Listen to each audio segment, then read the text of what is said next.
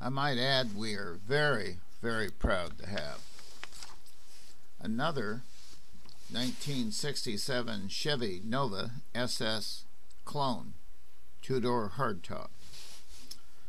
350, three and a quarter horse, turbo 350, automatic. It's got a shift kit in it.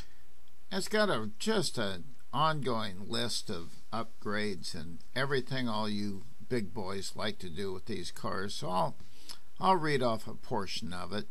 TCI front and rear suspension, 2 inch drop spindles, power brakes, front disc, coil, coil over shocks, front and rear AA Torino drum brakes, rear four link rear suspension, frame stiffeners, flat black paint, black bucket seat SS interior, Torq Thrust 8 inch rims rear, 6 inch front on TA radials.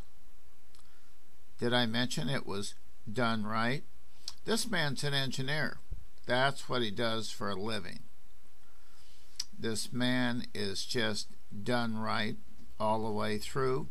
Every car we have, every truck we have is offered, subject to a complete inspection if you want it. You can catch a flight, come on in, I'll pick you up the airport, you can look it over, drive it. Uh, we are a web driven business, and this is a good example of how we strive to protect our buyers. But we've got a couple of nice ones. I mean, we've got now we've got five really, really nice muscle cars in stock. We're getting them posted to the web. They'll be an enjoyment to look at.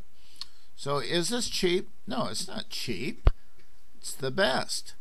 But if you feel that you've worked all your life and you deserve it, there it is.